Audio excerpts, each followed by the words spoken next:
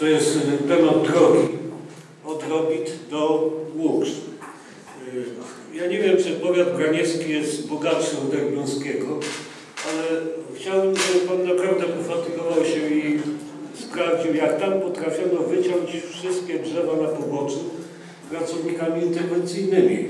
Natomiast y, tutaj już y, na terenie Robity Łuksty drzewa niedługo zarosną tą jezdnię. Ruch pociągnijmy dalej. E, Koleżanka Janka e, powiedziała o jednej stronie. Ja tutaj poruszę kwestię e, i to zadedykuję radnym powiatowym i panu staroście Romanowskiemu, a mianowicie będę drążył temat i będę w tym bardzo konsekwentny, mianowicie budowa chodnika na ulicy Trauguta. To jest, przypomnę, droga wyjazdowa Marianka Bożnowo, alternatywna do siódemki.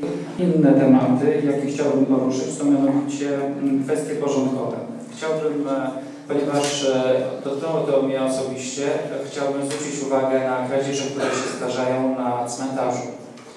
A chciałbym wiedzieć, jak zorganizowany jest dobór, jak zarządca pilnuje cmentarza e, komunalnego i co w sytuacji, kiedy, proszę Państwa, e, giną nam różnego rodzaju e, elementy dekoracyjne, zadrzewienia i dewastowane są e, elementy mm, właśnie regionu. Wysoka Rado.